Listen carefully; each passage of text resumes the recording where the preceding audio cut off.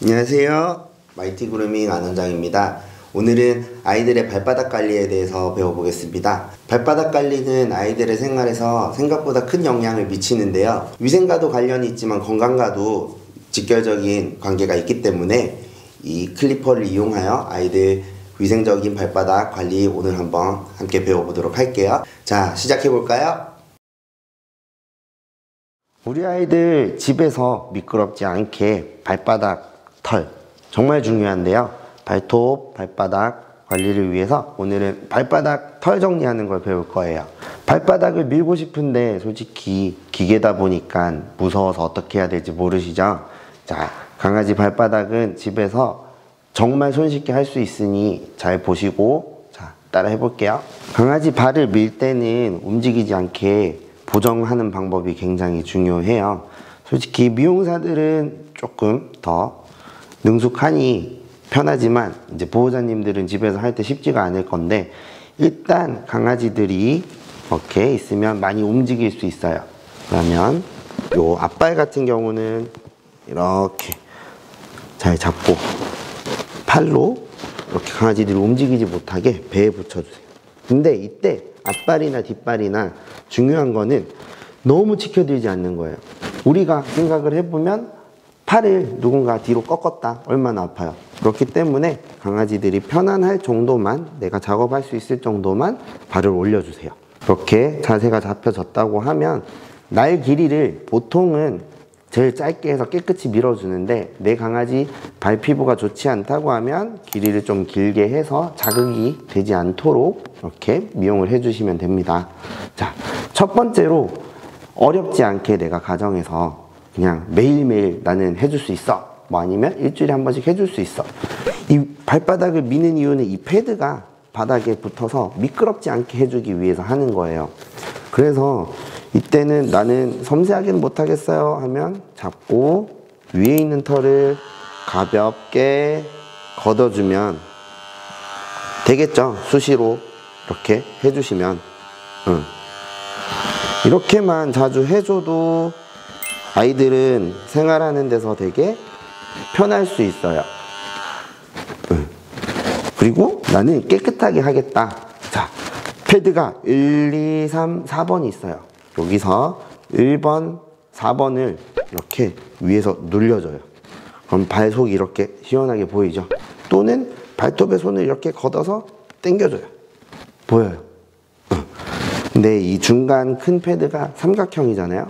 V자로 한 번, 두 번 들어갈 거예요. 자, 이렇게 눌려서 발을 속이 잘 보이게 까주고 날 중간이 아닌 끝을 양쪽 끝을 사용해서 이렇게 밀어주고 가운데도 이렇게 어지간하면 날 끝을 이용하시는 게 안전해요. 깨끗하죠? 여기서 한 번 더 요쪽으로 나 있는 main pad 쪽에 있는 털을 가볍게 걷어주세요. 이때 주의점은 clipper 사용법에서도 배웠지만 윗날에 살이 데이지 않도록 그리고 이 뒷부분도 보면 이 하트 모양에서 손을 딱 넣어보면 걸리는 부분이 있어요. 거기까지. 사람 손톱은 안 다치니까 이렇게 돼서 이렇게 잘라주면 돼요.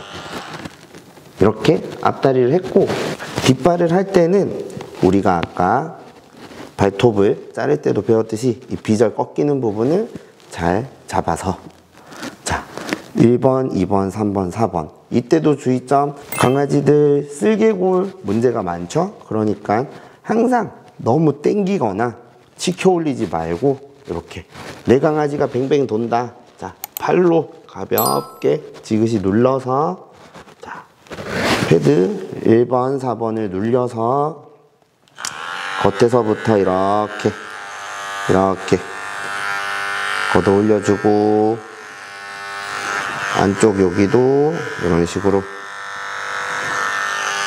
동날이 살에 데이지 않게 여기도 네.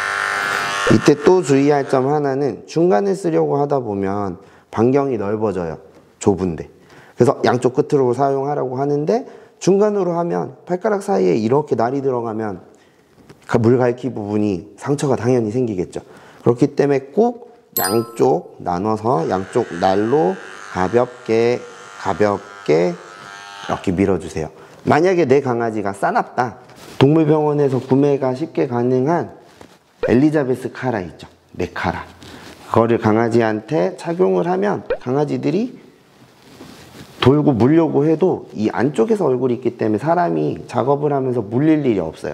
그렇게 해서 방금 했던 대로 이렇게 안전하게 보정법을 취해주면 다치지 않고 강아지도 사람도 손쉽게 할 수 있어요.